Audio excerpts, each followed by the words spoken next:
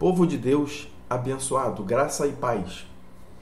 Todos os dias né, nós somos bombardeados com notícias de conflitos, desastres naturais, doenças, novos tipos de vírus resistentes aos medicamentos.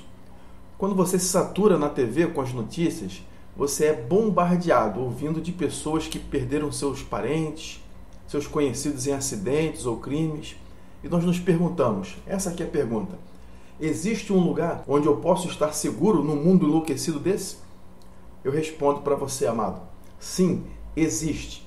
Deus preveniu todas essas coisas e Ele prometeu na Sua palavra proteção de todo mal que você já ouviu falar. É verdade. O diabo é o causador de todo mal, não o Senhor.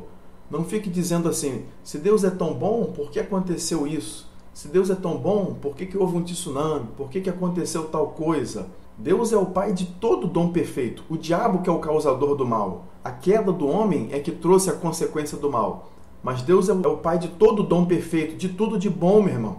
Não há nenhuma armadilha do diabo que o nosso pai não pode nos livrar se nós confiarmos nele e habitarmos no seu esconderijo. Esse é o ponto. Essa é a sua promessa. Vamos ver no Salmo 91? O salmo é pequeno, mas eu não vou ler ele todo, vou ler o versículo 1 e 2.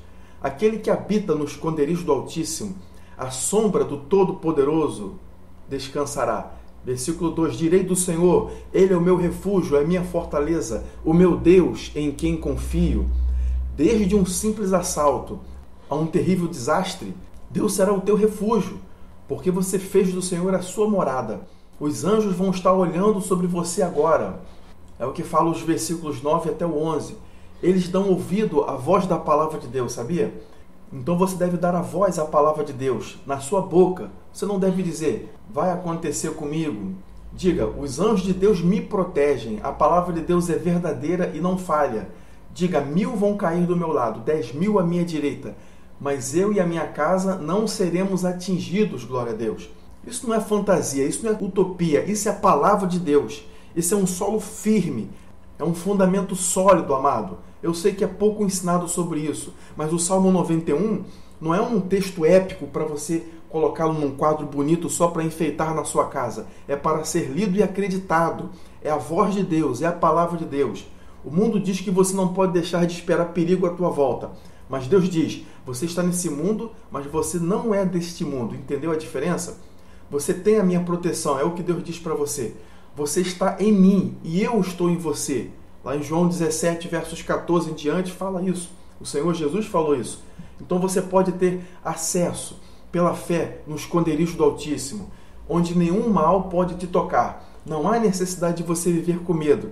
Se você quiser ouvir essas mensagens completas, esse assunto completo, você pode participar conosco ali na Igreja Fonte da Graça, na Avenida Governador Leonel de Moura Brizola 8080. Todas as quartas e domingos à noite nós estamos buscando o Senhor. É claro que esse aqui é apenas um resumo, mas se você quiser ouvir essas pequenas mensagens completas na nossa igreja, eu sempre estou falando esses assuntos com mais detalhe. Amém? Vamos orar agora, precioso Pai. Eu te louvo pela tua proteção. Tua palavra nunca falha. Guarda essa pessoa que está me ouvindo agora. Coloca os teus anjos ao redor dela. Que nós possamos habitar bem seguros, Senhor, debaixo das tuas asas, protegidos e guardados por ti. Guarda cada família da nossa igreja, guarda cada pessoa que nos ouve e acredita na tua palavra de fato. Protege-os de todo mal, Senhor. Coloca o inimigo bem afastado e bem longe. É o que eu oro e te agradeço no nome do Senhor Jesus. Amém, Senhor.